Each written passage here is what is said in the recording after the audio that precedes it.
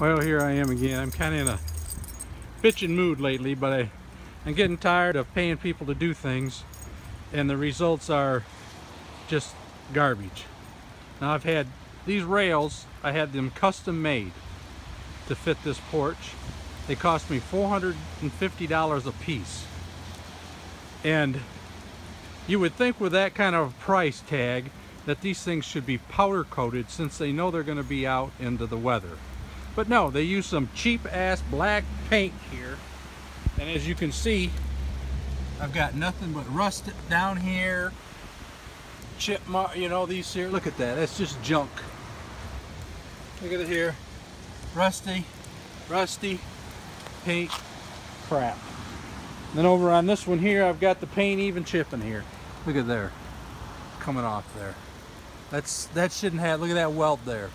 You know, if this was all powder coated, I would have none of this, none of this. Now I'm gonna have to uh, redo this work, probably take this apart, take it down, and I'm gonna have to pay someone to uh, powder coat these things so I don't have that problem. But that's the kind of crappy work that people do nowadays and they call themselves professionals. We pay top dollar for backyard mechanic work. That's just wrong. That is just wrong.